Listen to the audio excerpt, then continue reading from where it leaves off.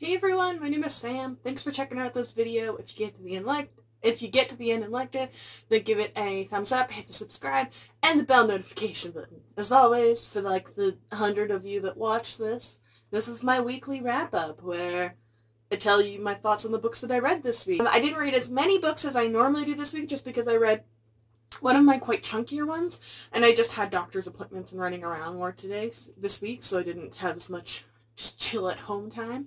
Um, but the books I read this week were actually really, really good, and I wanted to tell you about them. So literally what I just exact opposite said. The Bookish Life of Nina Hill is the first book I picked up this week, and it was actually my least favorite of the week. But that being said, all the books this week were just good in general. Um, this is a book lover's rom-com, okay? That's like your target audience. This is for like the booktuber watching community. This is for people who are in like the OwlCrate Society or TBR and Beyond and just read. I'm knocking over Funko Pops. What knocked over? Oh, it's cool. It was just Gaston. Also, excuse the fact that I'm wearing like a beanie toque. I'm 27 and trying to pretend I'm beginning to be 20 years old. Um, anyways, um, The Bookish Life of Nina Hill. It is a contemporary romance. Um, there's absolutely no smut or anything like that to this, but we have our main character who works for a local indie bookshop in uh, the California area. I don't know if it's like downtown LA. I don't know the geography. I don't know the geography of Los Angeles. I just know that it's overpriced, expensive, and for some reason you guys keep moving there despite the fact that they keep getting earthquakes and droughts. Um, but she has her life set. She's very introvert. She's even knowing that she's far more social than I am. Um, but she's a very organized person. She does this on Mondays, this on Tuesdays, this on Wednesdays, and things kind of get like warped out of chaos when all of a sudden she gets contacted by someone um, that her father's will had included her in it. Um, she's never met her father. Her mother has never told her anything about him. Um, he's never been a part of her life.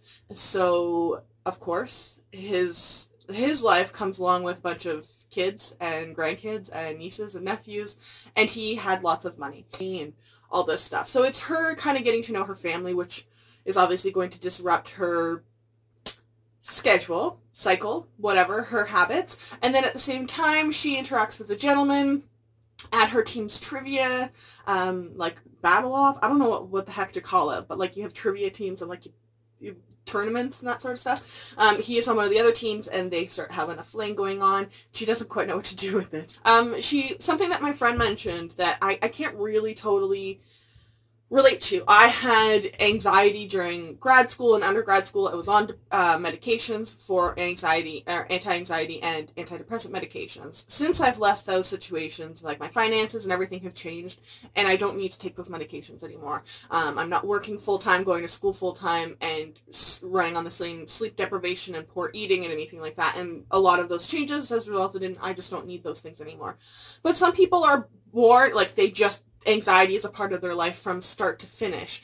And I, so I, I can't really relate to someone like that. It seems like the character is someone who does have lifelong anxiety of some sort. My friend Melanie has that and she was quite upset with, at one scene she kind of has a meltdown. She, she's, she's anxious, she's freaking out. She wants to be left alone. Um, and she kept, keeps saying like, I want to be left alone. I want to be left alone. And she finally snaps on the guy when he, he's like, I'm just trying to help. I'm just trying to help. She's like, no, I need you to leave. Um, and I don't know that he totally gets it in the end, but he he he seems to care. Um, so my friend Melanie was quite like frustrated about that he wasn't listening. But I can also see of like I don't think people totally understand lifelong anxiety disorders um, until they themselves have them, or their like best friend or their their girlfriend or whatever has them, and they learn about them. So I, I think that was something that I didn't really see until she had mentioned it afterwards, and I was like, honestly, it just seemed like a guy who didn't know how to handle it when people cope with freaking out and anxiety in different ways. It was an alright book. It was a quick read. I think I gave it a three and a half or four out of five stars. It was enjoyable, quick, fun. Um, the romance was cute. I don't think it was totally developed, but it's a very short book, so I wasn't expecting it to be. And yeah, I love like the support community around this local indie shop. Oh my god, sorry, the hat's come off. It's so hot in here all of a sudden. or maybe it's just because the hat is like dollar store, like it's plastic, it's garbage material, so it's probably just holding all the heat from the top of my head. Anyways, after the, the Bookish Life of Nina Hill, I picked up These Witches Don't Burn by Isabel Sterling, which I have been so curious and anxious to read um, since like, for like a year now. I feel like I've known about it for coming out for a while. This is a debut own voices bisexual rep. Um, and then we also have um, a trans character from female to male who has a boyfriend. And then we also have um, people who identify as lesbian. I also freaking love the dedication before we even get into this. Oh my god, turn pages. Turn pages. Um, for my wife Megan, meeting you changed everything, including this story. That is such a sweet dedication. Ah. Um, it's set in a contemporary setting in Salem, and our main character has powers. Um, she's a part of a local coven, and it, people don't openly use magic though, and it's like our kind of contemporary world. But she, it starts off like kind of awkwardly that her and her girlfriend broke up, and we never quite, we don't know exactly vividly what happens. It kind of like bits and pieces are dropped throughout the story of what happened, but her girlfriend wants her back, and she's not um, necessarily down for that after everything that happened with the breakup. And then this new girl transfers in who is bisexual, and things start between them. And at the same time, they think there's a witch hunter in town, which if you know anything about Salem, it's never a good sign. Uh, so it's this whole mystery that things keep happening. There's break-ins uh, amongst the coven, and then when you're underage in these covens, you're not necessarily supposed to use magic, because some of them have magic like bonds put on them, so they can't, and puts them in danger. And then of course this relationship drama and this like triangle set up, and it was just honestly really interesting. I enjoyed this. I'm for a debut, I didn't, I don't, again, I don't, I think I've, I've said this a few times this year, which is good. I don't think this book found a lot, into a lot of the pit holes that debut authors tend to with plots or trying to world build or anything like that. Um, it was pretty straightforward, simple that this is modern day Salem. Um, if you, you know, you could kind of just imagine it then and there. And then there's like, oh, well, okay, there's like this witch temple thing. Okay. And then these people live here and these people live here.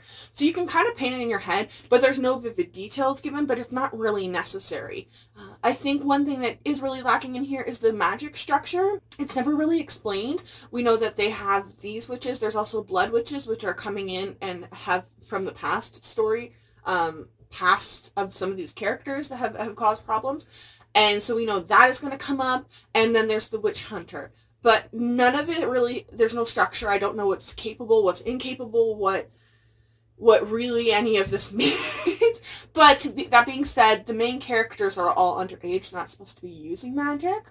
And so I can understand why we wouldn't get that. Hopefully the structure will come with book two because I think we're going to have to have some magical battles with how this ends. And I really, really, really hope there's a really clear definition put between the Blood Witches and the Coven that is in Salem because they have this beef, um, for lack of a better term, um, for some reasons that, again, it's not totally explained. So there's a lot left open here for the sequel, um, but I think you're given all the information you need, and I am definitely going to watch for this to pop up on Book Outlet, and I would really actually recommend this. It promised queer witches, and it gave me queer witches. But then on top of that, I've been trug- struggling a fair amount, I feel like in the last few years, trying to find a book that's like heavy queer rep. Like not just like one person is, is lesbian or anything like that, but heavy queer rep of multiple representations.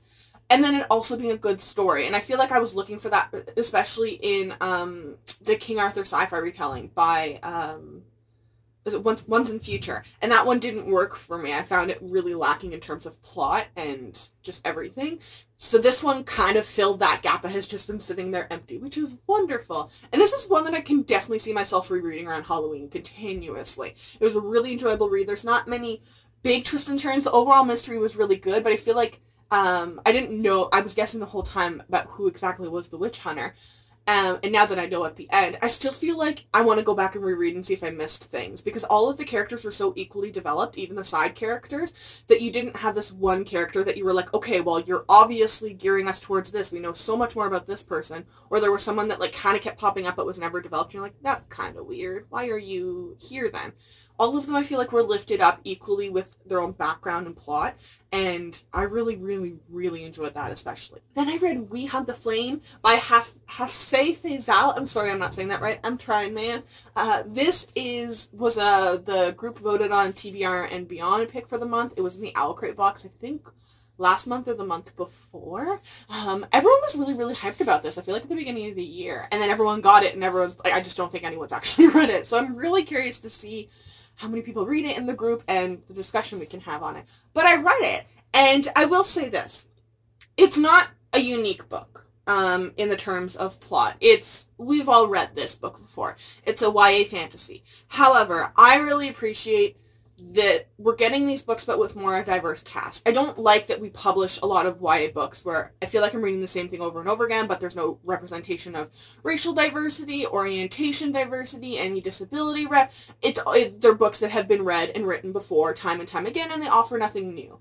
However, this book it offers these traditional tried and true YA fantasy structure that we know is successful, that we know that we enjoy reading, but a diverse cast. Um, I also am just apparently trash for books that have animals that like are like I don't know what the proper word is, but they're like sort of human, but they're not. But like they're they're not like pets, but they're there. Like you know what I mean? And this has that, which I loved. Uh, I'm also really recently just been enjoying. I feel like a lot of books set in more dry, like desert-like settings, um, which this offers me as well.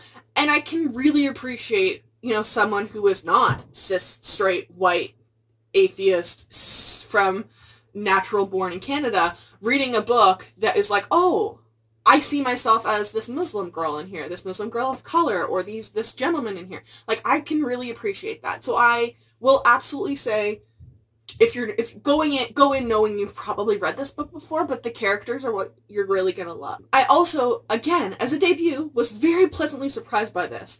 This is a bigger book, for sure. It was much bigger than I was expecting. Um, but the the author didn't cheap out on character growth, on world development, none of that. It's very fleshed out.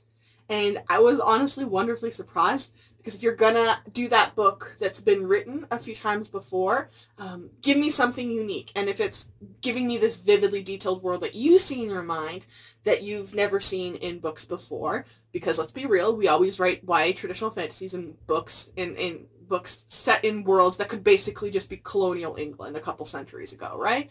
So getting this was wonderful. It's it it. It, it was it was I read this before, but it was also refreshing in that same sense. Um, I'm definitely going to read the sequel, um, and I like I said I'm very impressed with this author's writing. I want to continue following her and see what else she puts out and I hope people read it. We're having a discussion at the end of the month in the TBR and Beyond group. Then I read Echo North by Joanne Ruth Meyer. This was, um, I didn't hate this book by any means. It's not a bad book. This author has beautiful writing to lend itself to fantasies, folklores, fairy tales. Take anything like Grimm Brothers, Hans Christian Andersen, fairy tale type vibes. She has writing that really, really, really well fits with that sort of, of, of, of theme and darkness and just taking these the, the the fairy tales before Disney like messed with them and like made them all like you know, like when you've re- read the original Grimm Brothers, I haven't read the full original Grimm Brothers. I remember reading parts of it, but like the sisters cut off parts of their feet to fit them in the glass slipper. Like Disney, Disney excluded that part. Okay, so I feel like taking those original um, fantasies and folklores that were used originally to like scare kids and give them like morals of the time, the author has writing that really, really fits well with that sort of stuff. So if she wants to keep going on that path, I am really, really excited um, to follow her and see what else she comes out with. This is just a Beauty and the Beast retelling where the beast is a wolf, okay? I have had strong feelings on this channel about Beauty and the Beast retellings in the past. So I'll try to condense it as much as possible. Um, they've become unnecessary at this point. If you're gonna do a Beauty and the Beast retelling, you've gotta give me something different. You've gotta, it's gotta do something for me. For example, Sarah J. Maas combines it with a bunch of other fantasies and, and, and fairy tales and folklore retellings. So you can see parts of it, but then it kind of spins in its own different direction. And the characters are just very vividly iconic in that series.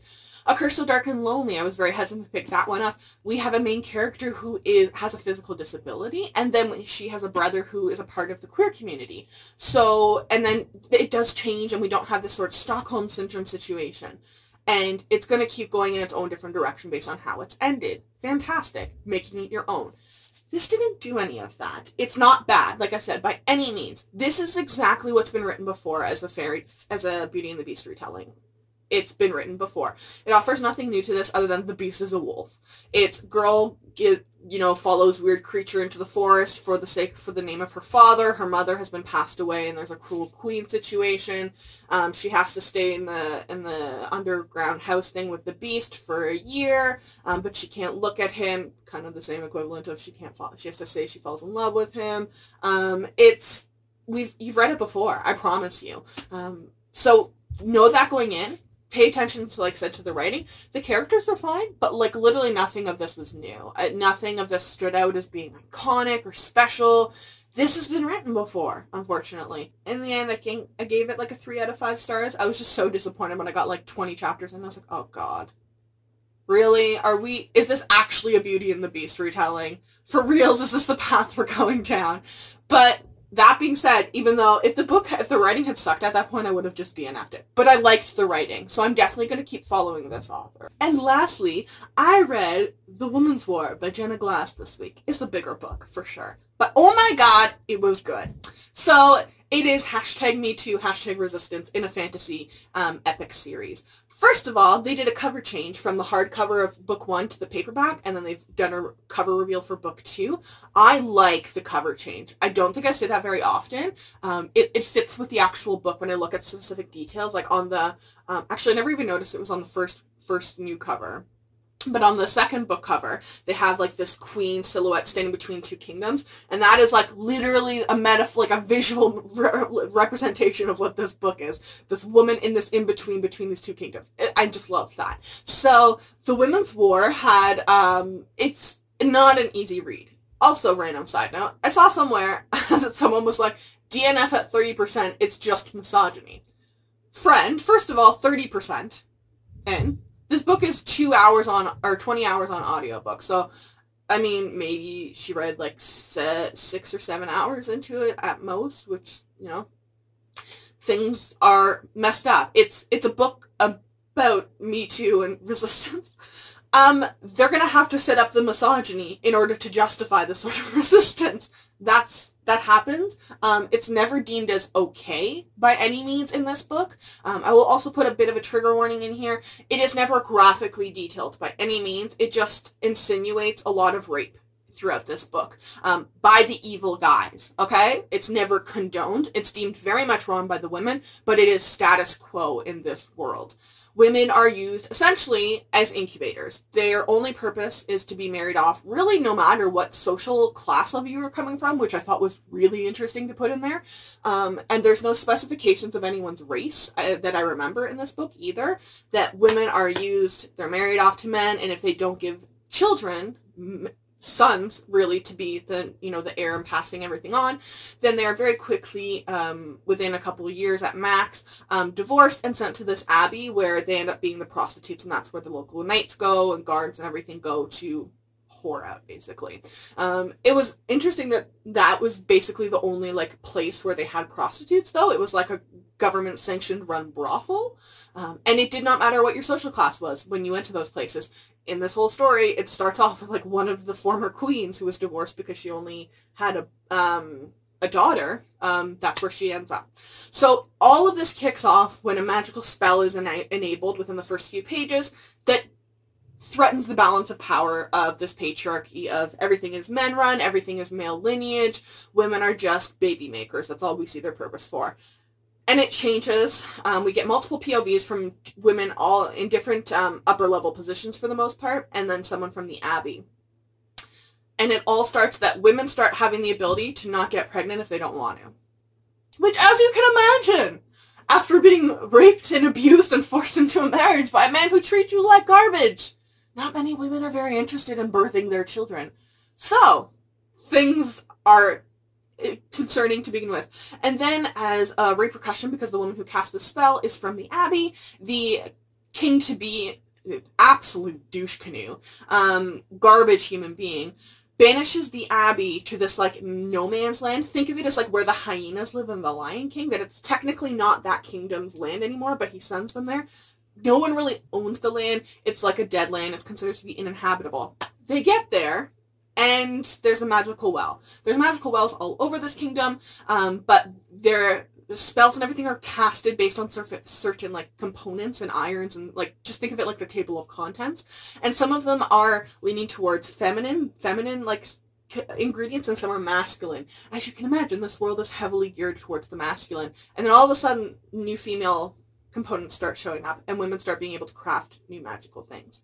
So balance shifting again and in this no man's land, all of a sudden they're start they're able to start building this essentially village.